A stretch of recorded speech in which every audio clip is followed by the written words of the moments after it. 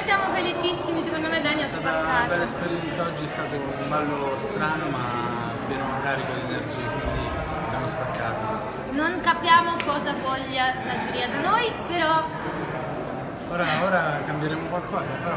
Contiamo su di voi. like.